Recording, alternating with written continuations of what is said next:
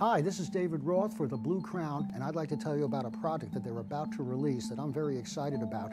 It's an updated version of the classic coin trick Scotch and Soda, and it's called Captain and Coke.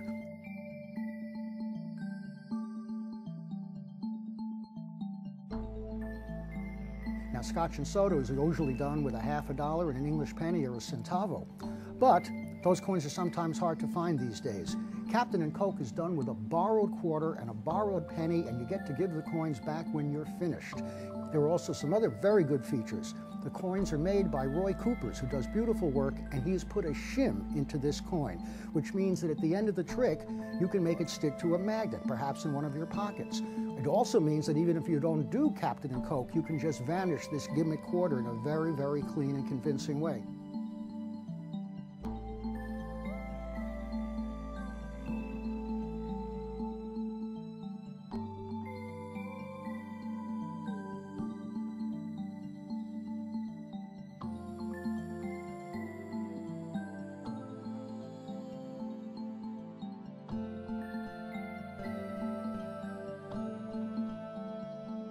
The routine is very easy to do, comes with the DVD. The coin is extremely well made. I'm kind of jazzed about it, and I think you will be too.